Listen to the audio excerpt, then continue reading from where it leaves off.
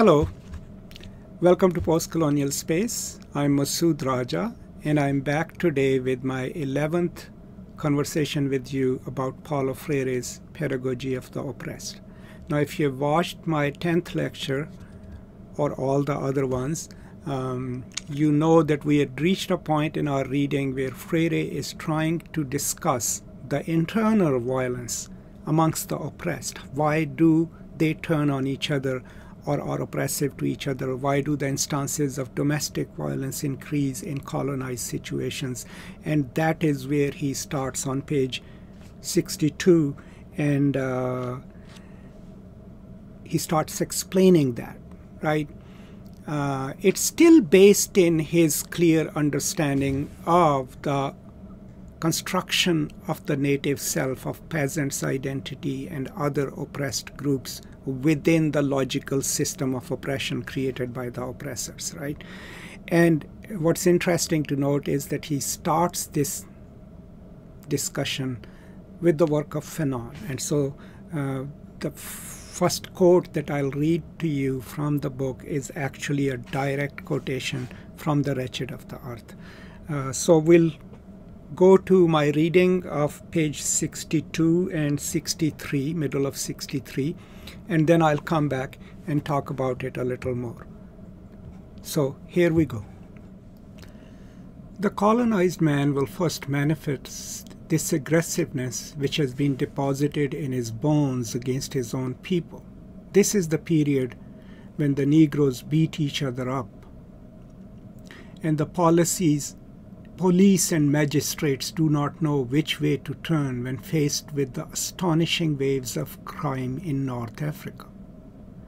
While the settler or the policeman has the right the livelong day to strike the native, to insult him, and to make him crawl to them, you will see the native reaching for his knife at the slightest hostile or aggressive glance cast on him by another native for the last resort of the native is to defend his personality vis-a-vis his brother. It is possible that in this behavior they are once more manifesting their duality, because the oppressor exists within their oppressed comrades. When they attack those comrades, they are indirectly attacking the oppressor as well. On the other hand, at a certain point in their existential experience, the oppressed feel an irresistible attraction towards the oppressors and their way of life. Sharing this way of life becomes an overpowering aspiration. In their alienation, the oppressed want at any cost to resemble the oppressors, to imitate them, to follow them. This phenomena is especially prevalent in the middle class oppressed, who yearn to be equal to the eminent men and women of upper class. Albert Memmi in an exceptional analysis of the colonized mentality, refers to the contempt he felt towards the colonizer mixed with passionate attraction towards him.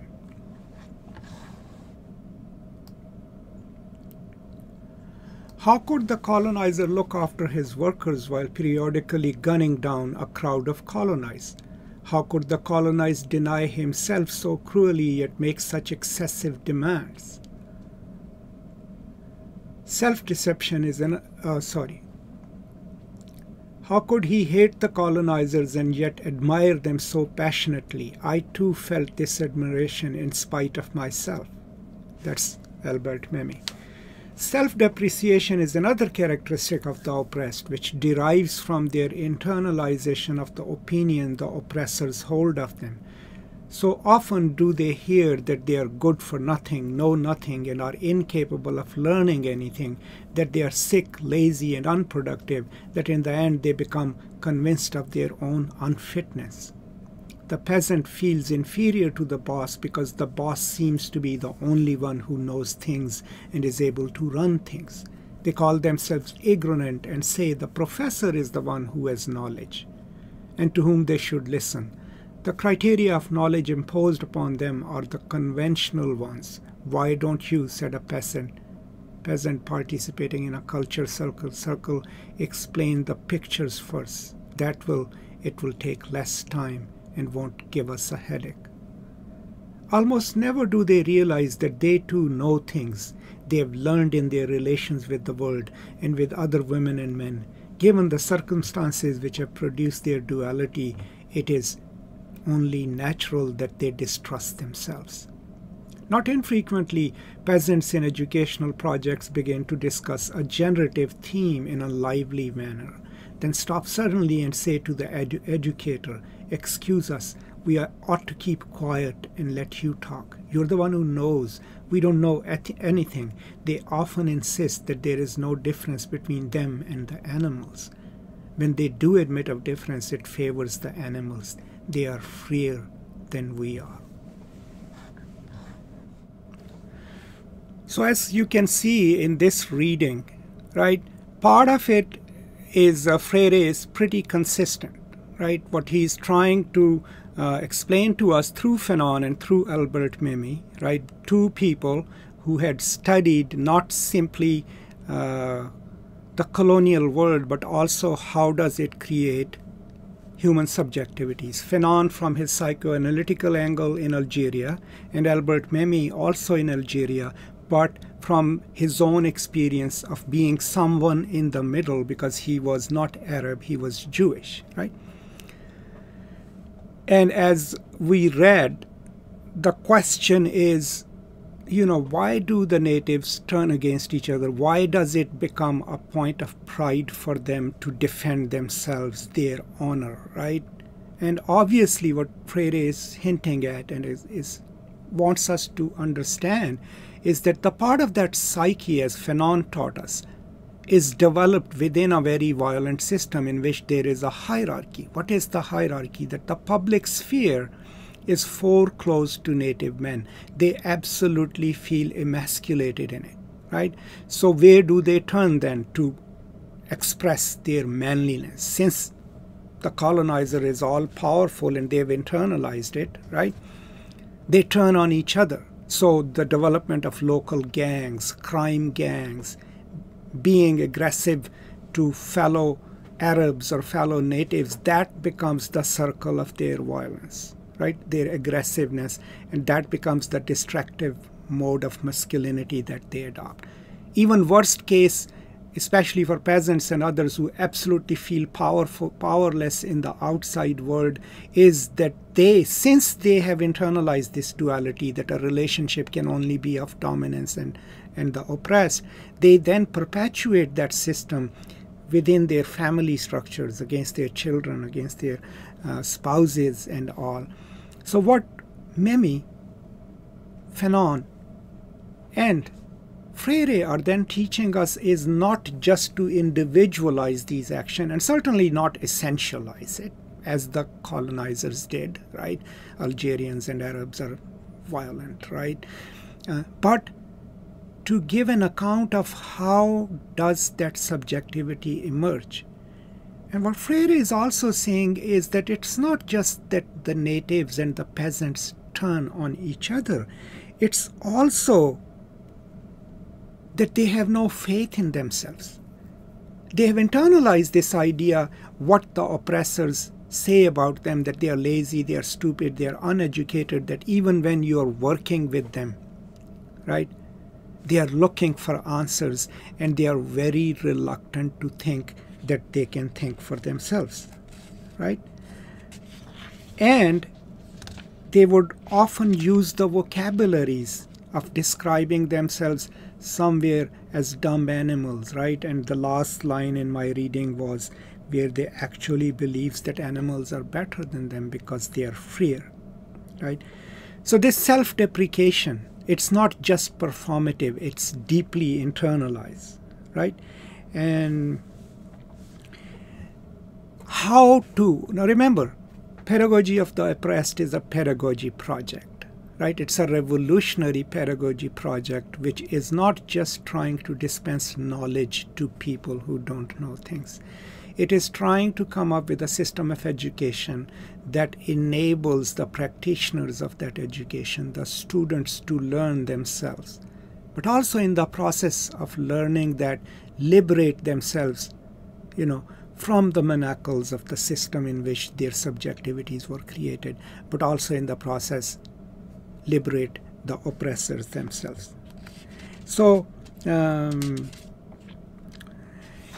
and this meekness and submissiveness that the peasants and the students display, this deep respect for the teacher, this idea that teacher knows all things, right, is also part of that thing, that's experience that they have internalized. More importantly, if you are from anywhere from the former colonies, think of it. Think of your students if you teach, or when you were a student. How many times you sat in the class assuming that you are there to receive knowledge from the master, from the teacher, and and and very rarely would we dare to ask a question that challenged the authority of our teacher, even when sometimes they were wrong, right? And part of the reason was that we had internalized that hierarchy, that we are ignorant, we don't know anything, we're not participants in our own education, and what the teacher dispenses, we take it, and then we become knowledgeable. And that applies to the classroom situation, but the actual real life situations as well. And that's where Freire is taking us. So I'll continue reading on the next page. Uh, I think I had stopped. Uh, uh, here um,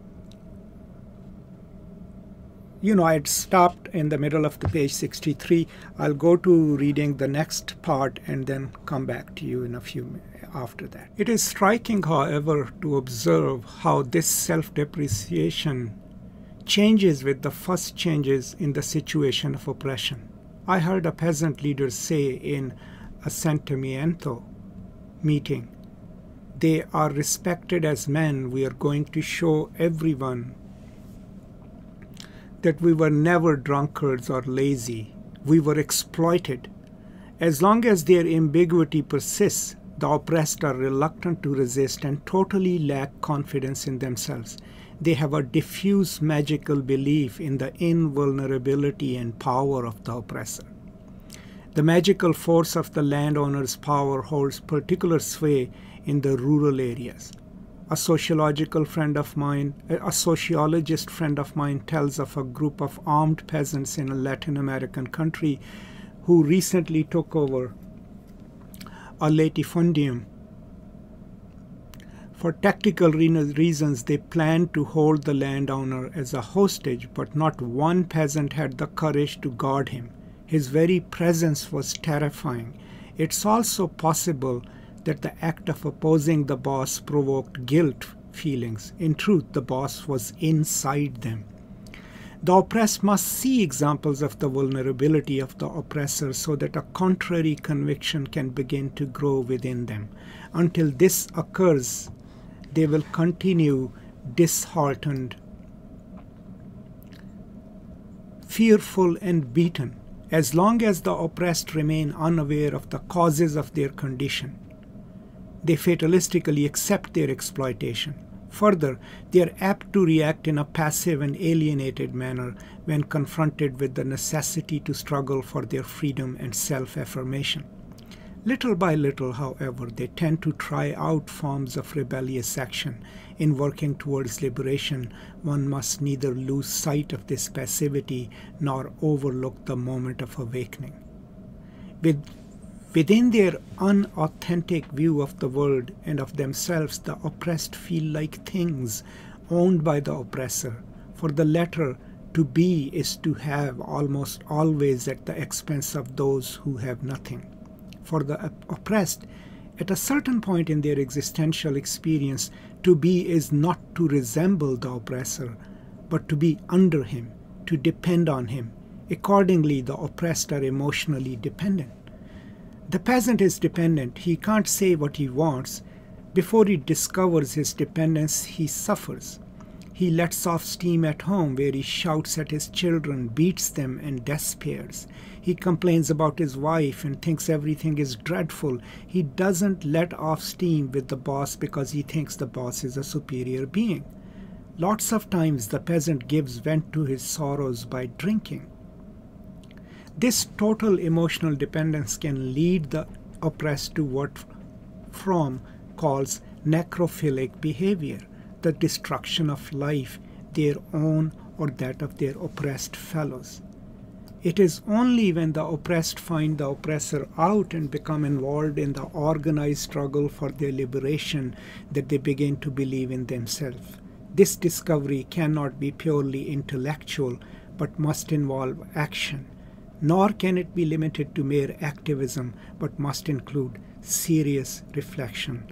Only then will it be praxis.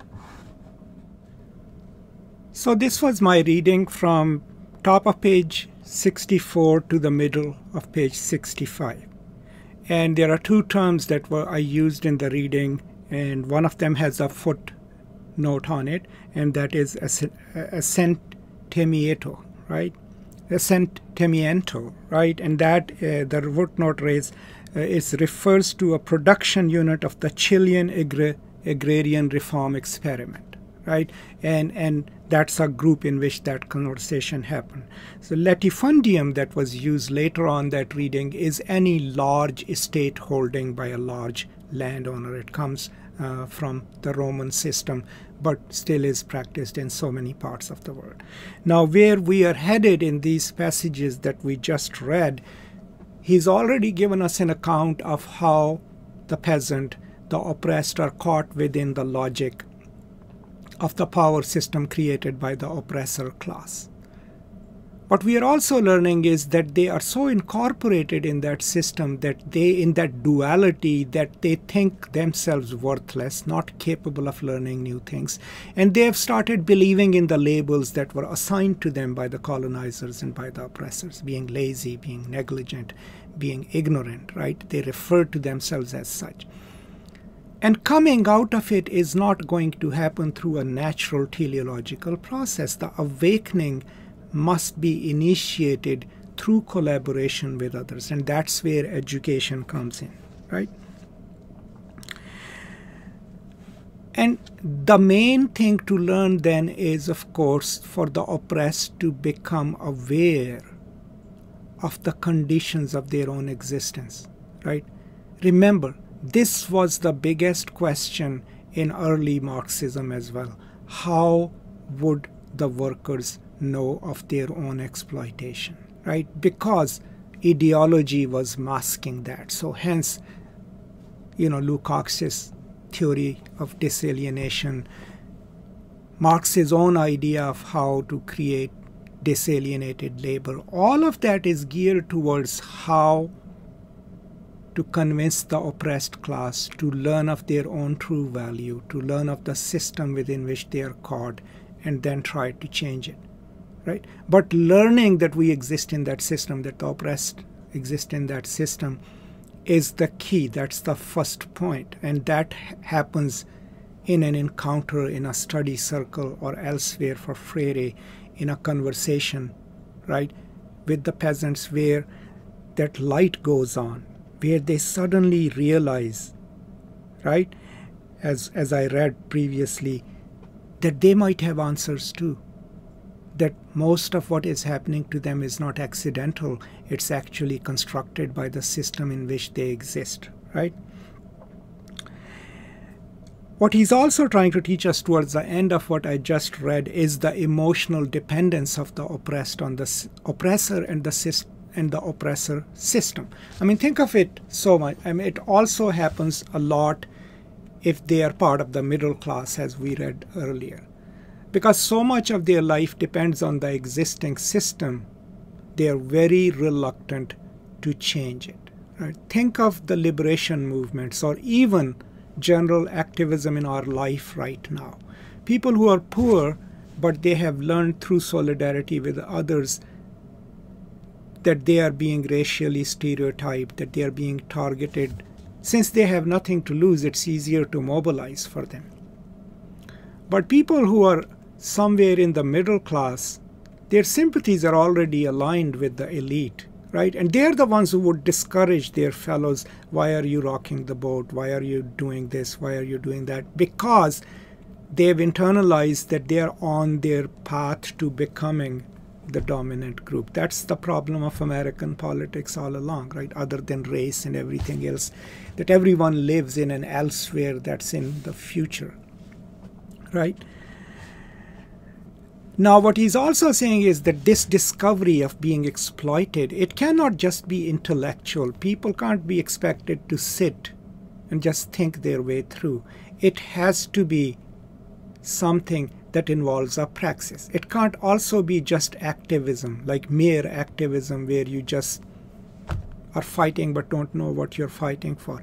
It must become a praxis, and it becomes a praxis by infusing theory lived experience, learning from each other, and then developing a politics out of it. And that's where he's headed. Now remember, this is an educational project. But before he gives us the mode of education that he's going to explain in this book, he's telling us what this education is for. It is the pedagogy of the oppressed, but then he must define who the oppressed are. How do they become oppressed? Why do they think the way they do? Right? How not to administer knowledge to them, how to learn from them, and then how to acknowledge that the oppressed themselves will liberate themselves, but also liberate everyone else.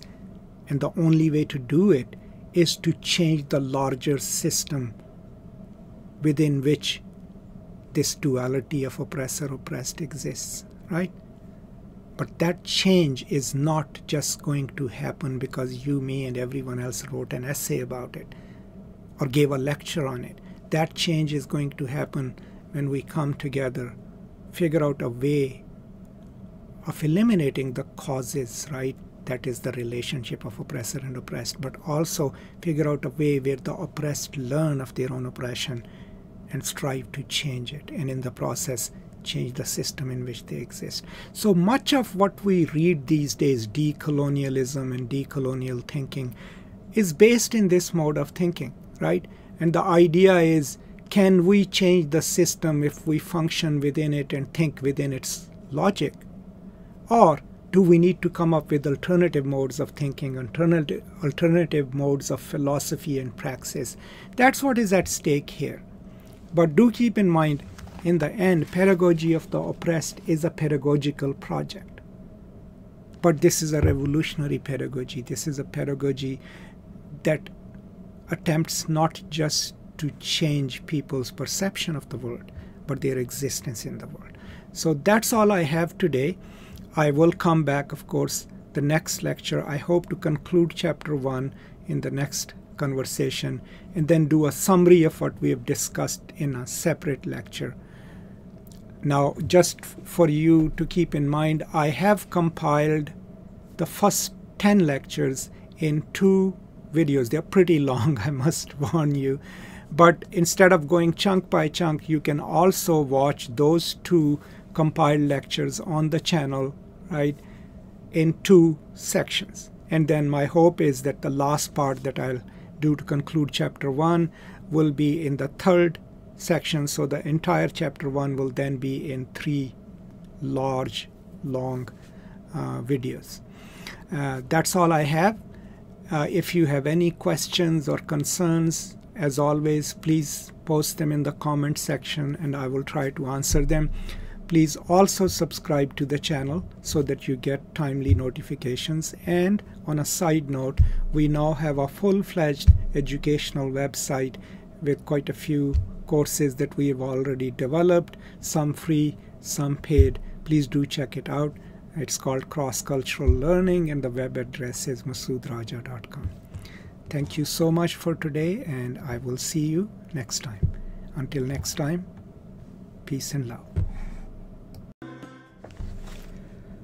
Hello, welcome to Postcolonial Space. I'm Masood Raja, and I'm here today with yet another conversation about Paulo Freire's Pedagogy of the Oppressed. And this is my 12th conversation with you on this book. Now remember, the project of these lectures is not to just lecture you, but to read the book with you. So I strongly urge you to get any edition of the book, an online edition, and read along so that we can learn together. Now, in the previous lecture, if you watched it, I strongly urge you to do so. Um, we had left our conversation on page 65, right? Where he's talking about the passivity and emotional dependence of the oppressed. How does it come to be? And the need for defining a praxis. Praxis for Freire depends on two things reflection and action. Reflection on one's lived conditions, knowing why the world is the way it is on the part of the peasants, on the part of the oppressed, and then working in solidarity to change that, right?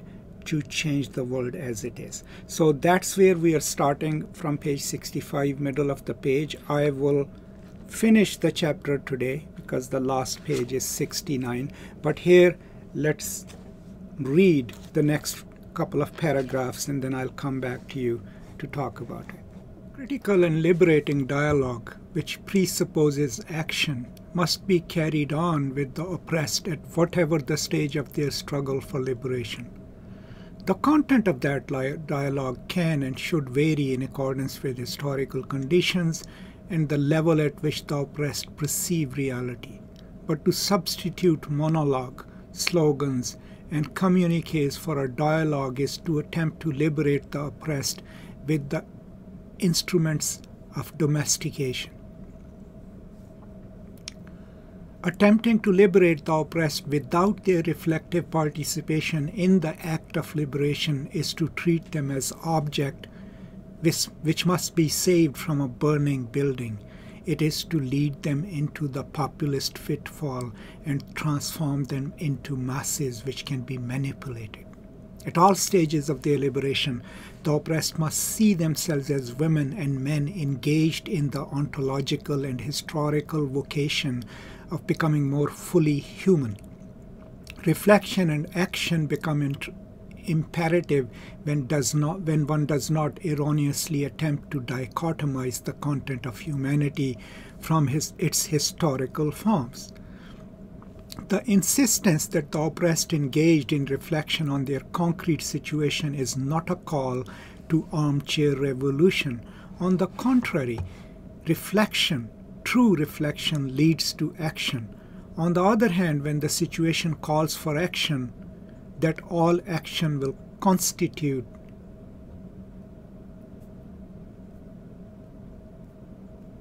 an authentic praxis only if its consequences become the object of critical reflection. In this sense, the praxis is the new raison d'etre of the oppressed and the revolution which inaugurates the historical moment of this raison d'etre is not viable apart from their con- concomitant conscious involvement. Otherwise, action is pure activism. To achieve this praxis, however, it is necess- necessary to trust in the oppressed and in their ability to reason. Whoever lacks this trust will fail to initiate or will abandon dialogue, reflection, and communication and will fall into using slogans, communiques, monologues, and instructions. Superficial conversion to the cause of liberation carry this danger. So let us think of what I just read. What we are getting from this is a distinction between uncritical populism and a real praxis of liberation.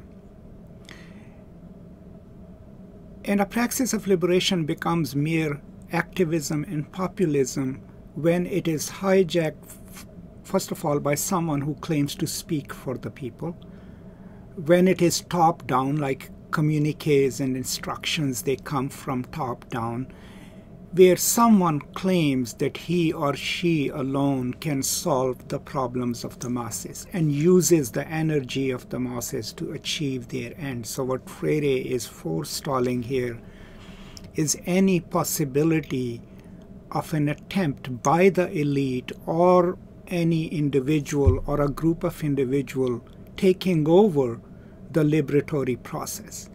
And one indicator of it is always when any constituency or group assumes that they have all the answers and people need to be liberated because then they are teaching, treating the people as things, as not having a volition of their own. True liberation, of course, according to the passages that I just read, and generally what comes across in this book, is based in reflection, right? Reflection on the part of the oppressed themselves, on their lived conditions, on the injustices in the society, right? And then that is mobilized into action, right? So the reason, the raison d'etre, the reason of its being then, right? What is it? In this sense, the praxis is the new raison d'etre of the oppressed and the revolution, right? Praxis. And how does he define praxis? A combination of reflection within the historical context, as he says, within the situation where a particular group of the oppressed might exist, but reflection on that, but a critical reflection of understanding their own situation, understanding what is going on, but not just mere reflection, not armchair politics, right? Then mobilizing that reflection in solidarity with others into action to change things. And remember, whenever we are talking about change in Freire, the change is geared towards realization of full humanity by the oppressed. A humanity in which they are equal with others, in which they have all their rights, right? And in which they can live as free citizens of the world, right? What else also comes across uh, is that to achieve this praxis, all constituencies have to believe that the oppressed have the mental capacities, the intellectual capacities to reason, to think about their own lived condition, and not necessarily that they are dumb and they are objects and they need to be taught or instructed.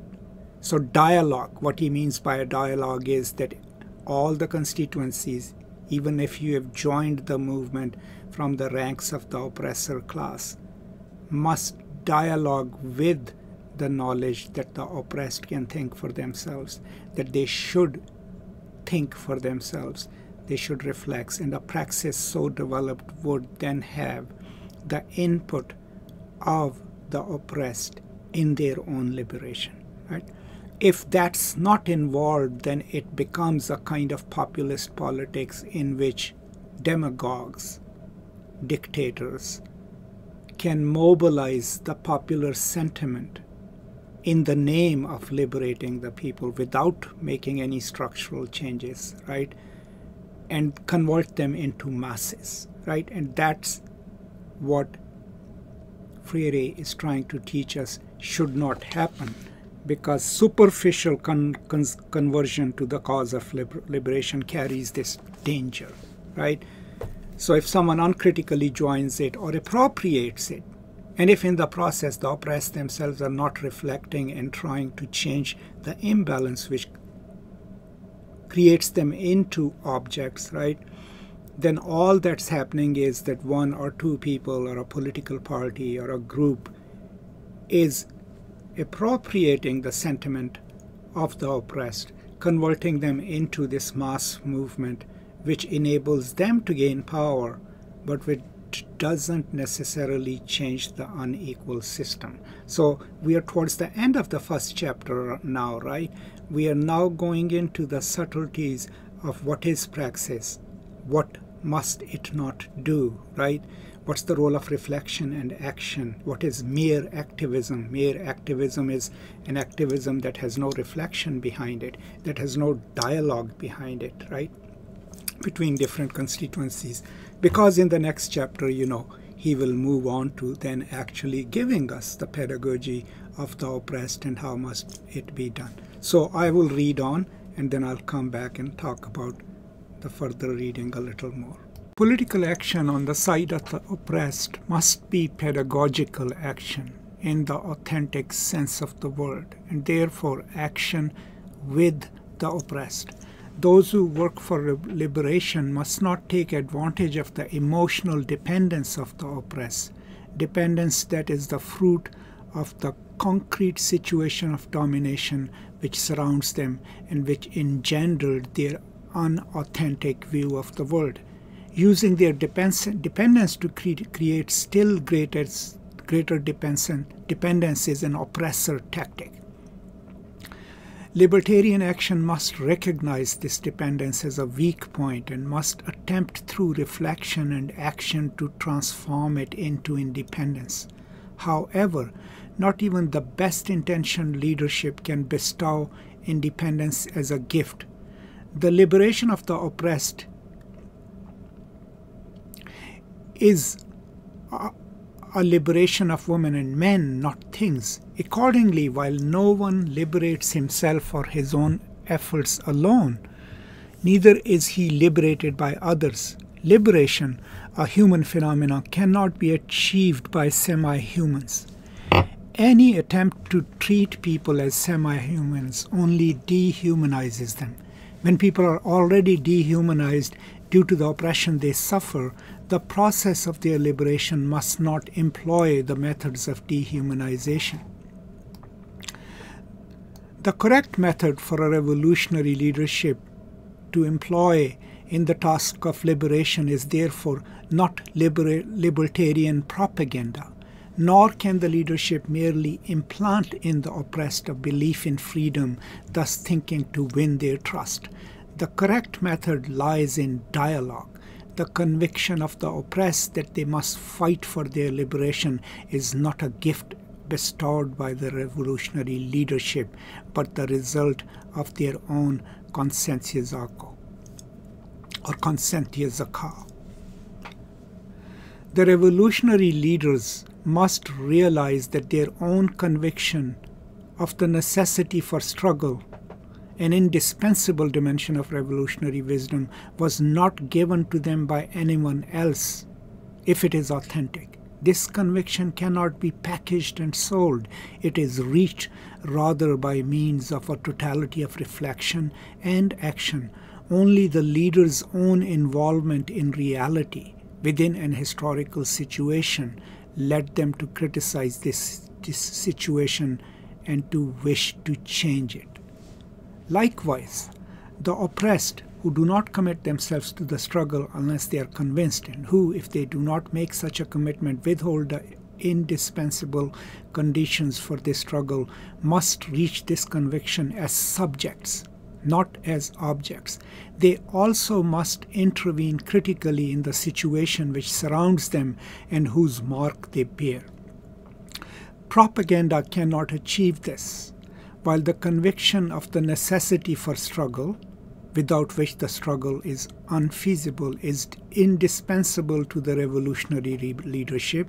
Indeed, it was this conviction which constituted that leadership. It is also necessary for the oppressed. It is necessary, that is, unless one, in, one intends to carry out the transformation for the oppressed rather than with them transformation for the oppressed rather than with them.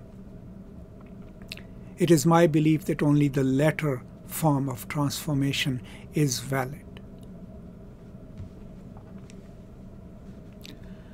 The object in presenting these considerations consideration is to defend the eminently pedagogical character of the revolution the revolutionary leaders of every epoch who have affirmed that the oppressed must accept the struggle for their liberation, an obvious point, have also thereby implicitly recognized the pedagogical aspect of their struggle. Many of these leaders, however, perhaps due to natural and understandable biases against pedagogy, have ended up using the educational methods employed by the oppressors. They deny pedagogical action in the liberation process, but they use propaganda to convince.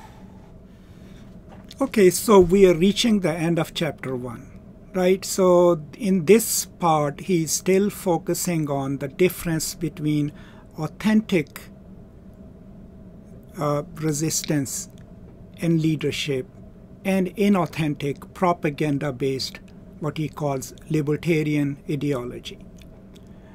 So libertarian struggle, then, for him can never be authentic as long as it is driven top down and relies on propaganda where it mobilizes the people to achieve certain ends without changing the larger structures in which people exist. And important in this reading is the term conscientization, right, or conscientization, coming to consciousness.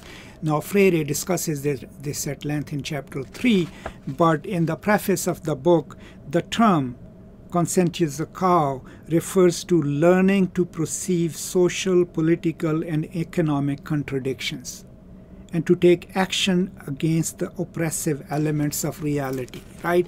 So that means that it's the kind of consciousness that doesn't, is not just fact based, but that one, it also helps people realize the historical, social, and political conditions in which one lives. Another important thing that came out from this passage, these passages that I just read, is the question of pedagogy. Now, for Freire, then, any revolutionary movement is a pedagogical process. And the reason it's a pedagogical process is, after all, because what are we trying to accomplish, as he explains? What we are trying to accomplish is, first of all, humanization of the very people who had been dehumanized. Then, these people who now have rehumanized themselves through reflection and praxis and not through top down teaching, right, are the ones who are going to lead the struggle to change the larger system in which they have existed, right? This cannot be done through mere propaganda where someone comes along and mobilizes the people towards change. People must reach this consciousness in solidarity with others. And when they do that by looking at their own life, by critically, revolution then becomes a pedagogical project because in the process of revolutionary change, people first become human and then claim their place in the world.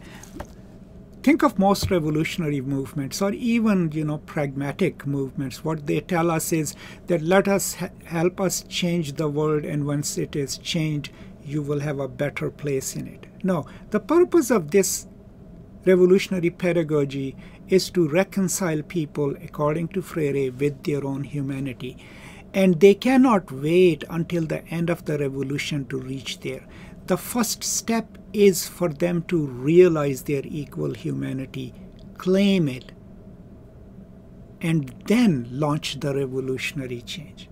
The project is pedagogical because it for for the peasants, for the oppressed, it is pedagogical because they are discovering their own lived conditions and how have their selves been constructed. But then they are also teaching the leadership what they feel, how do they think, right? And not simply learning top down, right?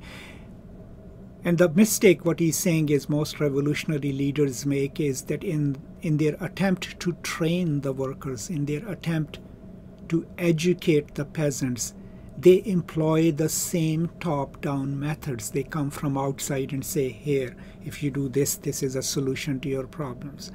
It's kind of the similar vein as the role of the organic intellectual who might have the knowledge but who go and lives with the people learns from them and shares his or her own knowledge with them but never tries to tell the people this is how we do things and if you do it my way you will learn it or in case of politics it's never someone instigating the people to rise without humanizing them but only instrumentalizing them that's a subtle difference between uncritical populism, top down populism, propagandistic politics. Now remember, propaganda was a major part in the Soviet Bolshevik Revolution and later on as well. So there is a, an explicit critique of that kind of communism and Marxism, right? And uh, what else came through? Okay, so that's all uh, the thoughts I have about the passages I just read. And then um, we'll go and read the concluding passage of this chapter, and I'll come back and talk to you a little more about that. For the oppressed to realize that when they accept the struggle for humanization, they also accept from that moment their total responsibility for the struggle. They must realize that they are fighting not merely for freedom from hunger, but for, and this is a quote from Erich Fromm freedom to create and to construct, to wonder and to venture. Such freedom requires that the individual be active and responsible, not a slave or well fed cog in the machine. It is not enough that men are not slaves. If social conditions further the existence of automations, the result will not be love of life, but love of death. End of quote. The oppressed, who have been shaped by the death affirming climate of oppression, must find through their struggle the way to life affirming humanization, which does not lie simply in having more to eat, although it does involve having more to eat and cannot fail to include this aspect. The oppressed have been destroyed precisely because their situation has re- reduced them to things in order to regain their humanity, they must cease to be things and fight as men and women. This is a radical requirement. They cannot enter the struggle as objects in order later to become human beings. The struggle begins with men's recognition that they have been destroyed. Propaganda, management, manipulation, all arms of domination cannot be the instruments of their rehumanization. The only effective instrument is a humanizing pedagogy in which the revolutionary leadership establishes a permanent relationship of dialogue with the oppressed. In a humanizing pedagogy, the method ceases to be an instrument by which the teachers in this instance, the revolutionary leadership can manipulate the students, in this instance, the oppressed, because it expresses the consciousness of the students themselves. The method is, in fact, the external form of consciousness manifest in acts, which takes on the fundamental property of consciousness, its intentionality. And this is also a quote and uh, from uh, Alvaro Vieira Pinto, and he's quoting from there uh, the method. It's the quote starts here. The method is in fact the external form of consciousness manifests an act which takes on the fundamental property of consciousness, its intentionality. The essence of consciousness is being with the world, and this behavior is permanent and unavoidable. Accordingly, consciousness is in essence a way toward something apart from itself, outside of itself, which surrounds it and which it apprehends by means of its ideational capacity. Consciousness is thus, by definition, a method in the most general sense of the word. End of quote. A revolutionary leadership must accordingly practice co intentional education, teachers and students leadership and people, on, intent on reality are both subjects, not only in the task of unveiling that reality and thereby coming to know it critically, but in the task of recreating that knowledge. As they attain this knowledge of reality through common reflection and action, they discover themselves as its permanent recreators. In this way, the presence of the oppressed in the struggle for their liberation will be what it should be, not pseudo participation, but committed involvement. Okay, so with this final reading of these few passages, we have reached the end of chapter 1. And what's instructive in the last part that I just read is the quote, because it is about consciousness right? And this is a phenom- phenomenological take on consciousness. Remember, in Husserl's phenomenology, thought is always outward tending. Right? So reflection is never just reflection about oneself. It's never in that Cartesian sense, you know, thinking from within. right? Since thought is always outward tending, right? So that means that the oppressed think when they reflect, they are thinking outwardly about the world in which they exist, right? And if those who want to work with them, those in the position of leadership, if it is a pedagogical relationship, it becomes pedagogy of the oppressed when both the teacher and the students are co-intentional which means is they are thinking outward about the world but they are thinking together with each other right? That's what being co-intentional means right? Thought intended outwards. But also a thought in which the student is not the object of that thought right? So the pedagogical thought doesn't go seeking this passive student and fill it. It's a pedagogical practice in which both the teacher and the student the leader and the so-called led are thinking together co-intention intending the change that they want to come about in the world right? Um, what also comes clear in in this part of the chapter is also his emphasis on humanizing pedagogy. That if pedagogy is meant to humanize people it cannot use the strategies that were used to dehumanize people right? So then it cannot be a pedagogy that based in the same old top down model in which the teacher has all the knowledge and the student doesn't think a student just reproduces the knowledge offered by the teacher. And you can apply it to the political situations. It cannot then be a kind of politics in which the leadership or a cadre of leadership or a single leader are the one who have all the answers, right? And people must follow. So not only is he articulating a practical pedagogy a liberating pedagogy. But there is a lot other things that we are learning in this chapter and eventually in the book. And one of them is to rid ourselves of our micro-fascisms, right? What is a micro-fascism according to Deleuze?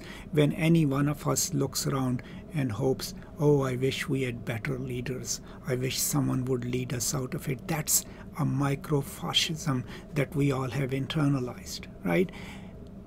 Instead of thinking that we can be the catalyst for change and that we can come up with things ourselves looking outwards and then finding more people in our own lived conditions in solidarity in, and then bring it to the world and change it.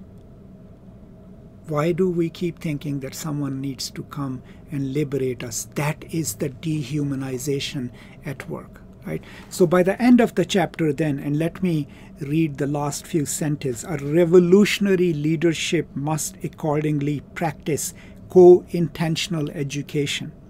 Teachers and students co-intent on reality are both subjects not only in the task of unveiling that reality and thereby coming to know it critically, but in the task of recreating that knowledge. So, co intention.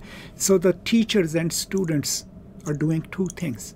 They are together thinking the world in which they exist critically. That's reflection, right? Reflection based in knowing the world around it, how it works, what are its injustices, and then praxis, attempting to change it. So by the end of the chapter, we have learned what the project of education is to humanize the oppressed, the process of how we would get there, and that it's a pedagogical practice, and the pedagogy must be co-intentional in which the students are not passives and teachers are not givers of all the knowledge. So that's where my reading of chapter 1 ends. Now, what do you think it teaches us about our current world and current situation? You know, do you have any opinions about it? I would love to hear your opinions in the comments about what we have covered in these 12 lectures. Now, I'm not done with chapter 1.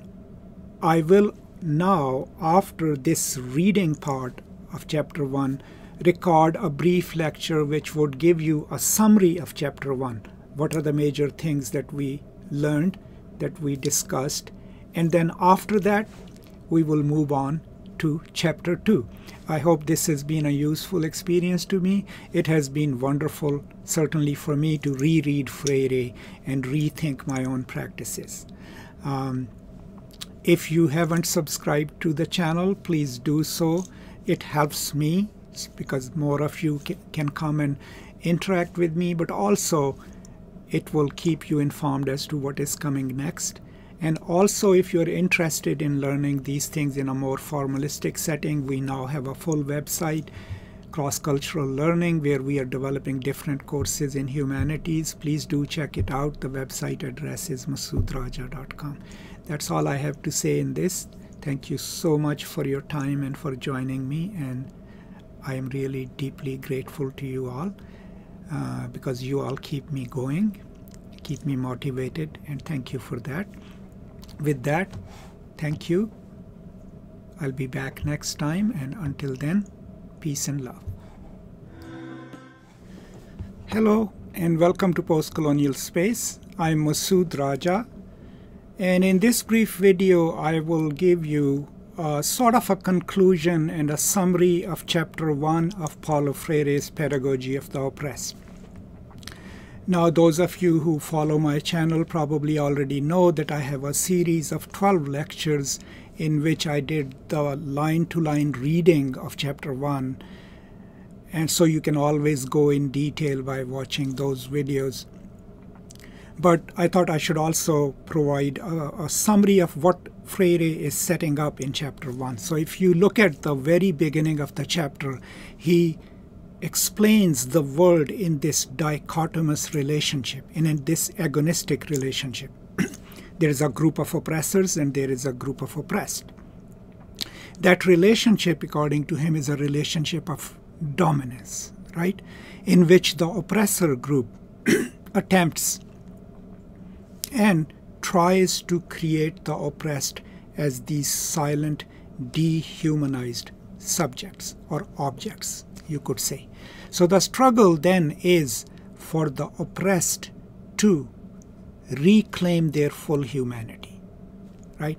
That is the object of any pedagogy, but especially of pedagogy of the oppressed. How to claim their full humanity, right? For the oppressed.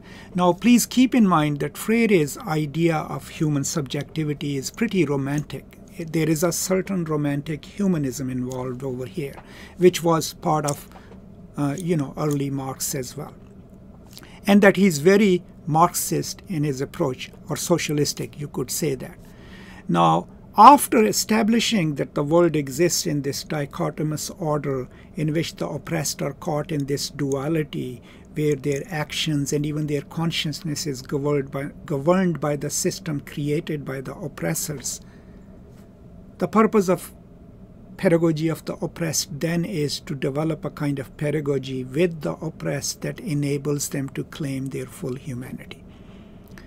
But since they have been dehumanized by a dehumanizing system perpetuated by the oppressors, one other aspect of liberation then is for the oppressed to not just liberate themselves, but also in the process humanize their oppressors, who, after all, by dehumanizing others, have also dehumanized themselves. So that's the project. Then in the chapter, he also discusses, you know, how do the oppressed internalize the logic of oppression. Since they only have existed in an oppressive environment, that's the only system that they know. So even when they think of their own liberation, their first model is to emulate their masters, right? So the pedagogy of the oppressed then must also take into account that the oppressed, in defining their own humanity, realize that they can't define it on the model of their oppressors, right? They can't, when they are successful, become the oppressors themselves, right? And that's another aspect of pedagogy of the oppressed that Freire is trying to highlight.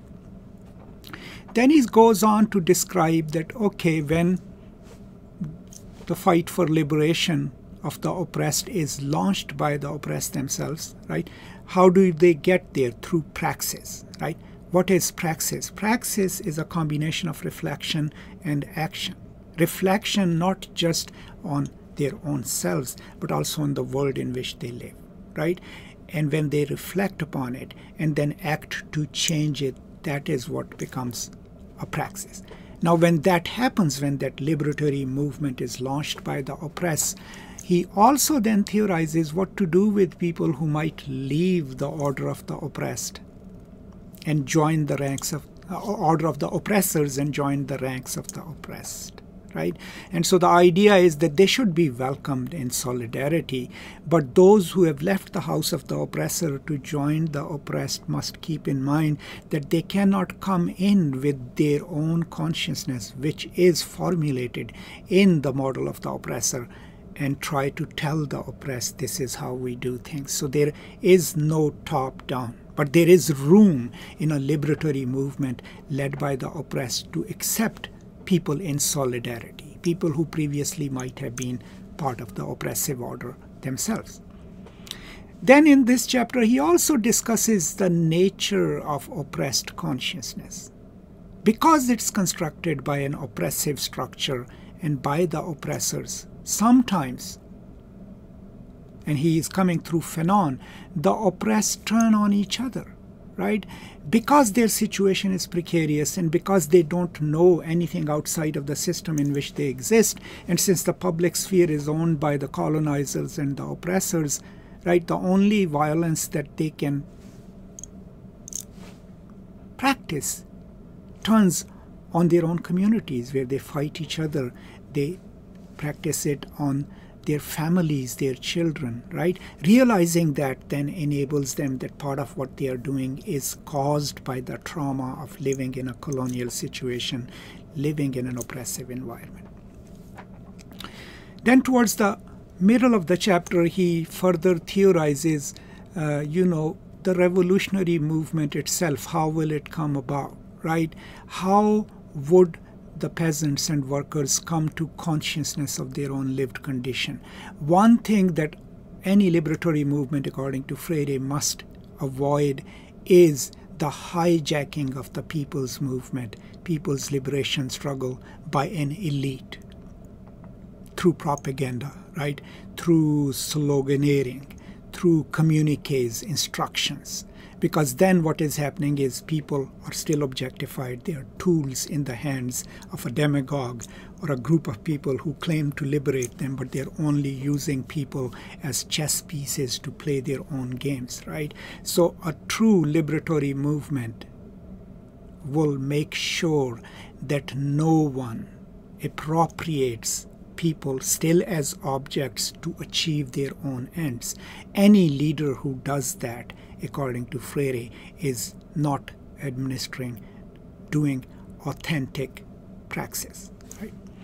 And then towards the end of the chapter, he basically teaches us that all liberatory movements, revolutions, right, they are pedagogical in nature.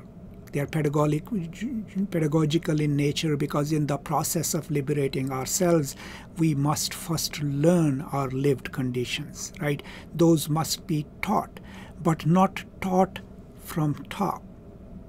If I am a teacher and I want to teach liberatory way of life towards freedom and full humanity, I cannot bring it in a basket to my classroom and distribute it liberation and freedom is never given, right? So, how must we go about it? We must go about it by thinking together, right? And any recipe for change that is done for the poor, for the oppressed, is not going to change that. In order for change to happen, it must be done with the oppressed. In this chapter, also, there is a very important concept two or three very important concepts. But first is of false generosity that he talks about. What is false generosity? False charity or false generosity, according to Freire, is any attempts by the elite or by a group that has resources to just throw money at things or try to cosmetically change things, right?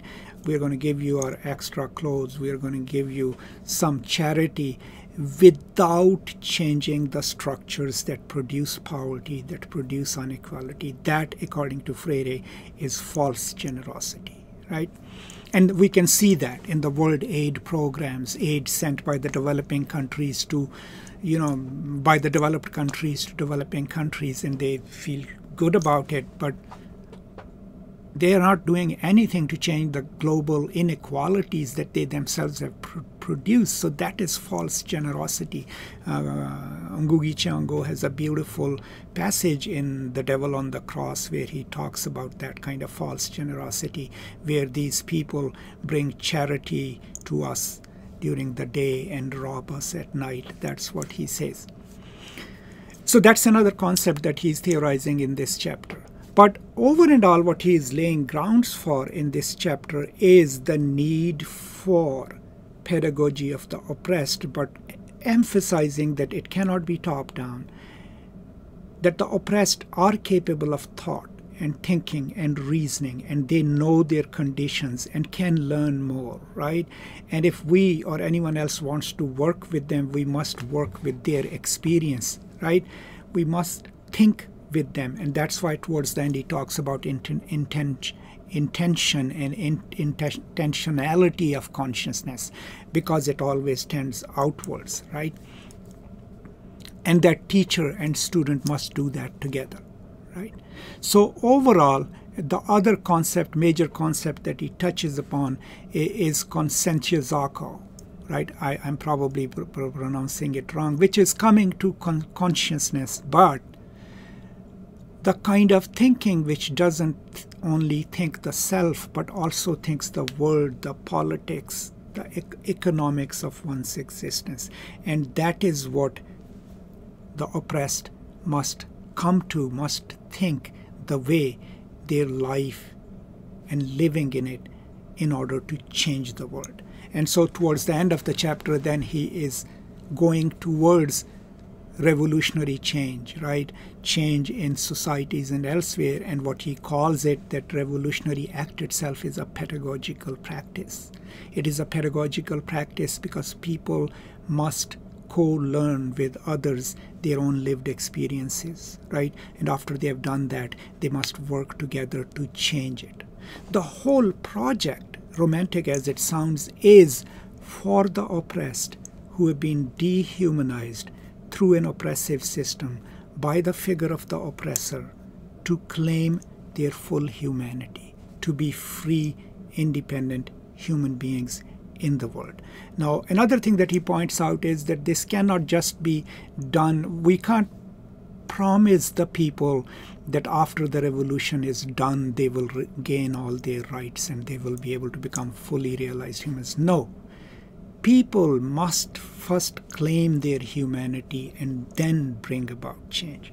There is also a cautionary note towards the end of the chapter about appropriation of the potential of the people by demagogues, by groups and constituencies who appropriate for populist reasons the sentiment of the people and their poverty and mobilize them to their own ends without changing anything. And that kind of leadership for Freire is also unauthentic, right? And the oppressed also must learn to do to deal with it but also anyone who wants to take a position of leadership in any liberatory movement needs to keep that in mind right and so then towards the end of the chapter what we are learning is that revolutionary change is a pedagogical practice. It involves a praxis. A praxis is always a combination of reflection and action, but reflection not just about one's own self, but one's existence in the world outside as it impacts my life and everyone else's life. And when these come together, and when teacher and student co-intend and co-think the change, then develops a kind of pedagogy which is pedagogy of the oppressed and not for the oppressed, not top down, but practiced and delivered, right, with the participation and full humanity of the oppressed themselves. So these are some of the thoughts, of course, uh, that are covered in chapter 1. Now, of course, if you have time and energy, you can go through all the 12 lectures that I have recorded. I, am calling them lectures, but they are mostly conversations where we read chapter 1 word to word and talked about it. I highly recommend that. I will post uh, the links to that on the end screen. And meanwhile, what do you think of chapter 1? Do you think it actually applies to our life as students, workers uh, of the 21st century, as professors of 21st century? If it does, please, you know, post your comments in the comment section so that we can have a conversation. And if you have not already um, subscribed to the channel, please do so. Uh, and, you know, post any questions that you might have. Uh, with this, I will sign off. Thank you so much for being a part of this wonderful experience. And now I will see you next time. Until then, as always, peace and love.